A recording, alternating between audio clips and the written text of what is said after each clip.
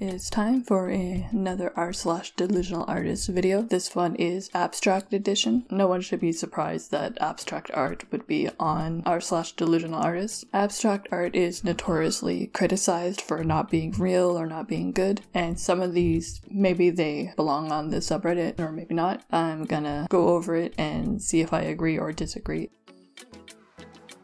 The four piece collection. This is kind of what happens when people try to do abstract art but not really putting that much effort into it. The brushstrokes are just done quickly, and not that a fast brushstroke is an issue, but it's just done without any technique to it. The painting on the top left is looking pretty good to me. You can see if you compare the two top paintings how there's depth, even though there's no true form of anything on the left. And when you look at the right, the underpainting or the background, it does look pretty good. But then you have the brushstrokes in the front, they don't look like very much effort went into what exactly they're trying to do there. And the bottom left, it does look like a kindergarten painting, which it could be a look, but I don't think this is the look that this person was trying to go for. And the one on the bottom right, it's not too bad. It's just, it's hard to see exactly what it is. The color scheme is all very light, the background and the foreground, so it's hard to see much depth there. And the prices for all of these are higher than what I think this artist is able to sell their art for. So I will agree that this belongs on the subreddit.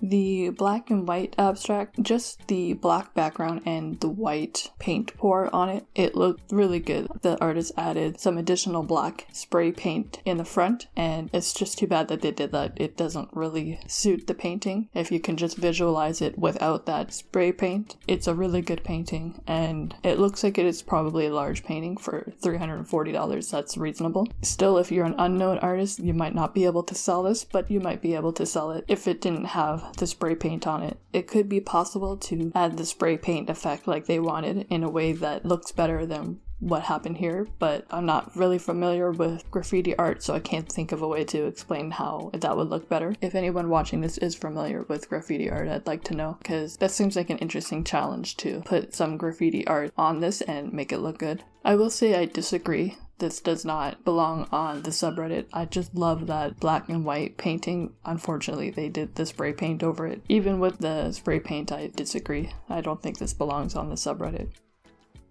For the randomized paint splat or paint pour, there's a few issues with this listing. The art itself, it's alright. It doesn't really look like there's much put into it, but paint and randomness go good together in my opinion. The price is kind of high, and the picture is not a good picture of the painting. This is one that I'm not sure. I can't really decide if I agree or disagree with it being on the subreddit because I do like the painting. I don't see a size here. It doesn't look very big if you can compare it to the grain of the wood floor, but $150, some artists do charge that even if they're not really well known and they can sell art for $150 it's just smack in the middle. It's not a definite disagree. I just wish they took a better picture of it. The photography of artwork that you want to sell is almost as important as the actual artwork itself for the red enigma. Judging by this tag, it has abstract in the meme or the sarcastic font, so they don't believe this is real art or it is real abstract. This is a good painting, and that's actually a reasonable price. It's actually kind of low. It could use a better photograph of it. Sometimes it's just hard, you just don't have lighting and good cameras to take the best picture, but you've gotta really try hard to take good photography of stuff that you want to sell. I 100% disagree. This does not belong on delusional artists. This is a good painting. I'm sure everyone looking at this probably will see something. I see a forest in the background and a person in the foreground, and even the bottom kind of looks like grass to me. But this is a good example of abstract. It's actually almost nudging into surrealism, I would say, but I'm sure some people would disagree with that. Yeah, 100% disagree. This does not belong on the subreddit. It's a good painting, and not only is that a good price, they could actually sell it for more.